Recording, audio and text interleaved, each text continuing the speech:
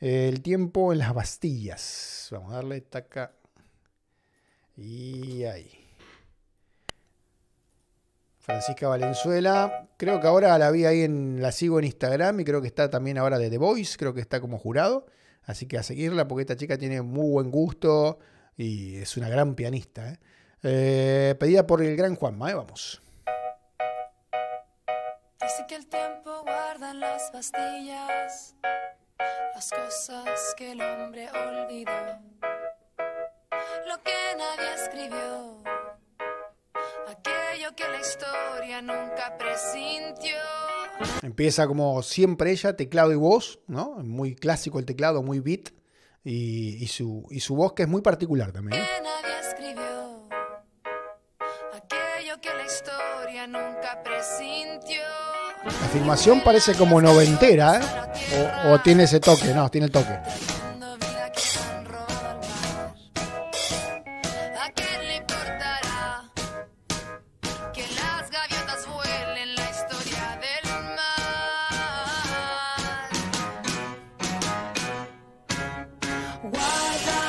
Dando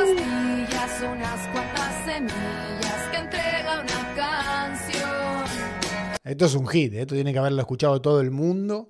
Eh, el vídeo te, te- te remite muy a los 80, ahí alguien lo puso, me parece. Es de la serie 80, Amigos Locos. Ah, una serie.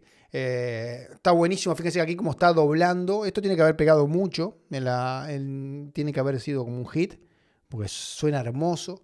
El teclado muy beat, muy ochentero también, como lo que, lo que está haciendo ella. Y la batería arriba de todo, sobre, sobre todo. Está muy, muy bueno. Y bueno, esta chica tiene mucha estética en todo, en lo, en lo que es visualmente y en todas sus producciones. Una, una chica que cuida mucho las cosas.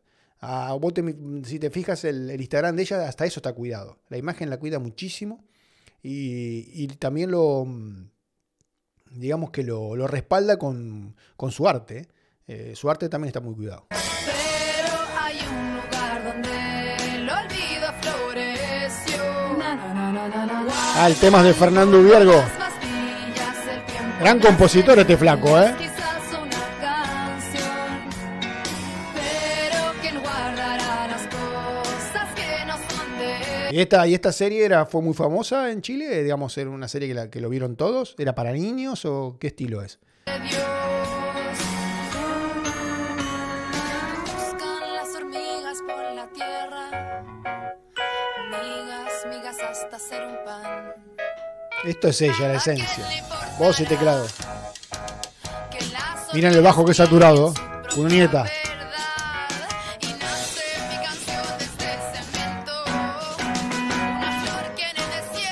morirá. Mucha fuerza también.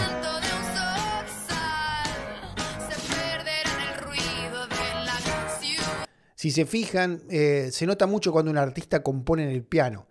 Fito, que estábamos hablando antes, Fito Páez, se nota muchísimo cómo compone. Y esta chica también, se nota muchísimo que la rítmica que utiliza es de piano.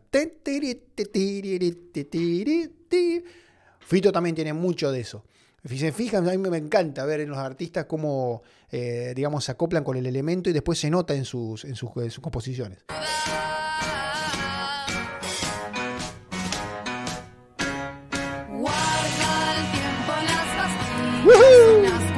Temón este, ¿eh? Habría que ver el Dubiergo también, ¿eh? Pero esta versión está muy buena.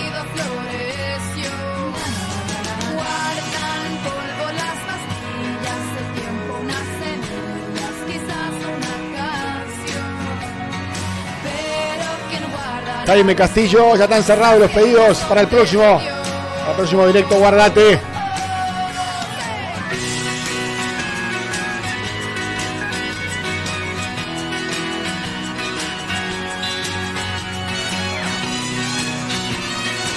La verdad que no sé, el, tiempo en las Bastillas, ¿sabe a qué se refiere? Eh, porque la única Bastilla que conozco es la francesa, pero no sé a qué se refiere con el, el tiempo en las Bastillas. Si alguien tiene alguna data, eh, que la tire ahí.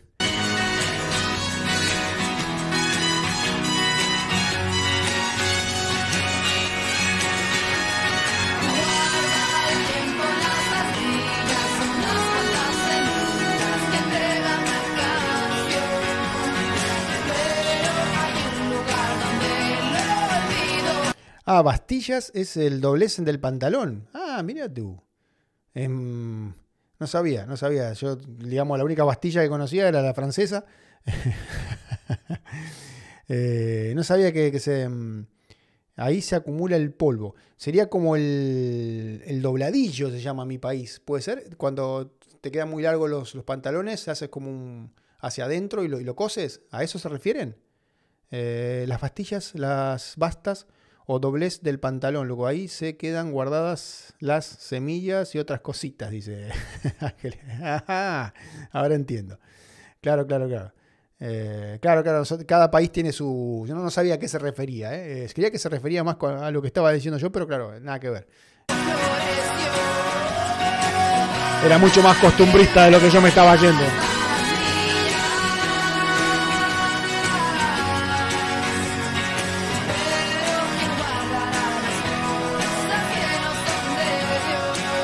Ese es un chilecismo muy clásico, ¿eh? Bastillas. Primera vez que lo escuché. Pero ¿quién guardará las cosas que no son de Muy buena esta piba, muy buena, eh, muy talentosa y muy visual también. Esta chica es muy visual. Me encanta verla en directo eh, porque es muy estética.